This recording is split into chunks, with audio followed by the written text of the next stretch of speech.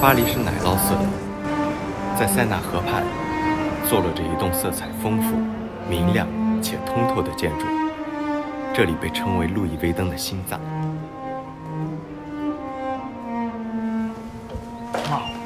Hi. Hello. Hi. Welcome to the Louis Vuitton family home. Thank you. I'm Simon. I'm Thierry.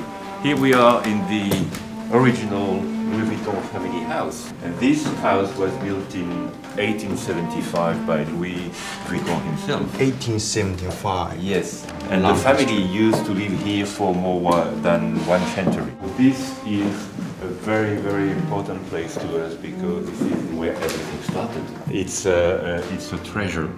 Because this is a dynasty. Louis Vuitton is the founder, but then there was George, the developer, then there was Gaston, uh, the grandson. Sixth generation of the Louis Vuitton family used to work and live here. 来之前有过一些预想，但实际到访之后，发现美的超出了预期。彩色的玻璃窗、充满细节的墙面设计以及木质结构的家具，全部都透露出路易威登家族对风格和美学的坚持。即使是在一百六十多年后的今天，这里仍然生机盎然。大家都知道，制作印象的木材非常重要。路易威登先生之所以选址在这里建造故居工坊，一部分原因是便利的交通，让原材料的运输非常便捷。例如，当时已经声名远扬的平顶印箱所需的杨木，年轻的路易威登先生早早就洞察到世界所传达的讯息，深思熟虑后的决定，让这里经久不衰。老式的也有最新的，结合到一起。时间的长廊，时间是线性的，路易威登古往今来的作品让线性的时间变得丰富。